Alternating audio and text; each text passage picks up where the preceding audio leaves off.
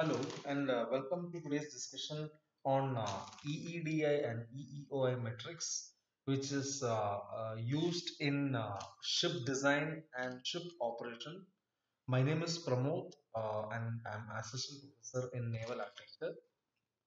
So today's discussion is something related with energy efficiency of ships. You know, nowadays the trend is we need to use less energy, we need to have less pollution, less impact on environment by our uh, various activities. So more and more research, more and more emphasis uh, is uh, on this topic, and uh, our shipping industry is also uh, under pressure from various uh, organizations uh, to reduce its impact on uh, the environment. Today's discussion we will start with uh, a small discussion on world global emissions. What is this SEEMP? Uh, importance of EEDI, its calculation, and we also will have a look at EEOI. These are two EEDI and EEOI are two metrics which are used in ship design as well as ship operation, and it is made mandatory now Starting with uh, the world global emissions, uh, this uh, figure shows you the carbon dioxide emissions by each sector. It was uh, actually conducted by, uh, it was found out in a study conducted uh, by the International Energy Association, and it was found that almost 22 percentage of carbon dioxide emissions happens because of the transport sector so when the transport sector was analyzed, it was found that the shipping industry accounted for around 11 percentage of carbon dioxide emissions. So this would reflect to roughly 2.5 percentage of the entire carbon dioxide emissions happening globally in the world. This is attributed to our shipping sector.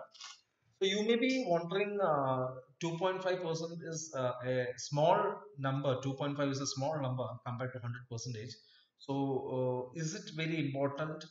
Well, uh, in terms of number, you may not feel so by uh, going by the value, but please understand that uh, the fuel which has been used in ships uh, has not basically changed for a lot of years, and for this reason uh, there has been a long term demand, long term pressure uh, in the shipping industry to do something about this. If you take uh, other sectors like automobile or airlines, they have drastically changed the rules, the fuel, the type of engines which they use for running uh, um, uh, uh, their the vehicles or the aeroplanes, and the pollution which is coming out of these industries has drastically reduced.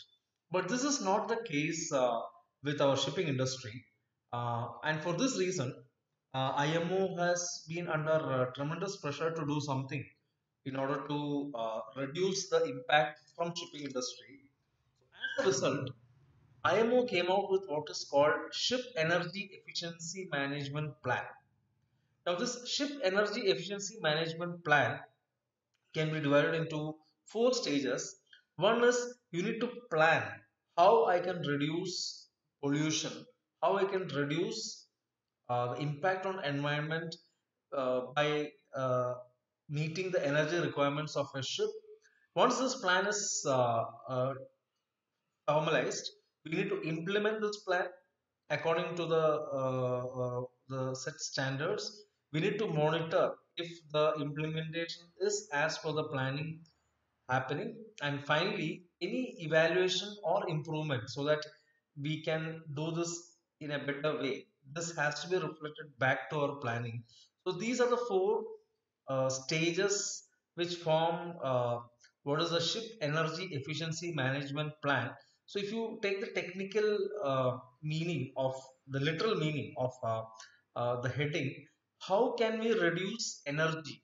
When we talk about efficiency we are talking about energy. So how we can reduce energy for running a ship?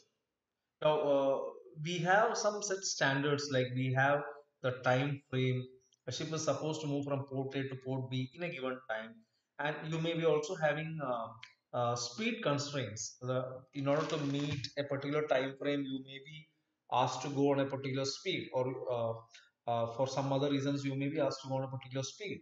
So, uh, suppose we cannot change the time, we cannot change the speed at which ships are operated. Can we, by some other means, reduce the energy required for running a ship? So that is uh, what is fundamentally coming under the ship energy efficiency management plan. So as you can uh, guess, we are basically trying to study where do we, where are we wasting, where are we uh, uh, wasting energy which is produced in ship, or can we reduce this wastage?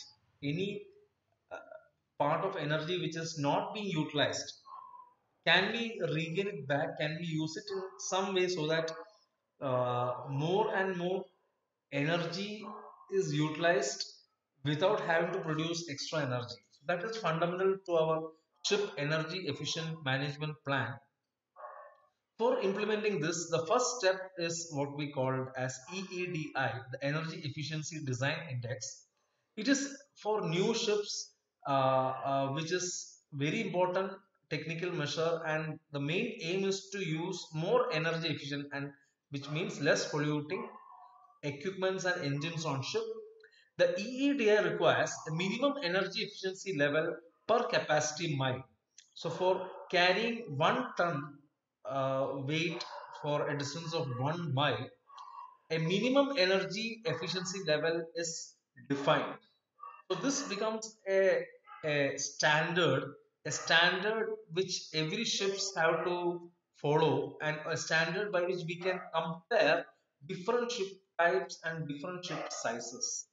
So this actually the EEDI uses a benchmark for comparison of uh, energy utilization in ships.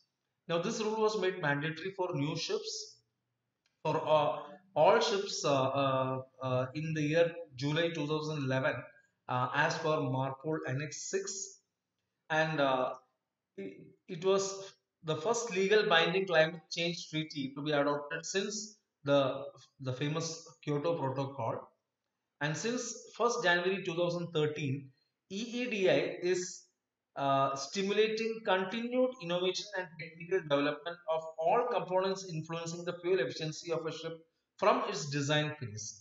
So this EEDI is actually having an impact on every machinery used in ships uh, whether we as i told you whether we can reduce the loss of energy uh, in each and every machinery equipment used on ship. That is again uh, being uh, explored because of this uh, uh, EEDI values. The EEDI is a non prescriptive performance based mechanism that leaves the choice of technologies to use in a specific ship design to the industry. As long as the required energy efficiency level is attained, the ship designers and builders are free to use the most cost efficient solutions for the ship to comply with the regulations. EEDI provides a specific figure for an individual ship design expressed in grams of carbon dioxide per ship's capacity mile. So uh, you can see here grams of CO2 per capacity mile. So this yellow color is in the numerator and the green color is in denominator. We will uh, discuss more on that formula. But please understand that smaller the EEDI, more energy efficient is that ship. So when you compare two ships, two EEDIs of two ships, we actually are looking for the ship with smaller EEDI. This smaller EEDI means that ship will be more energy efficient than the other ship. So this is the main advantage of uh, uh, this metric. It allows us to compare two designs. So when you're designing a ship, suppose you have two uh, designs being uh, explored, the one with lesser EEDI would be more energy efficient. So this is an additional metric which we can use in terms of uh, uh, comparison of ships so lesser EEDI means uh, more energy efficiency. That means the ship uses more energy. It, may, it creates lesser pollution. So that is the idea and we can finalize our decision based on this. I hope uh, uh,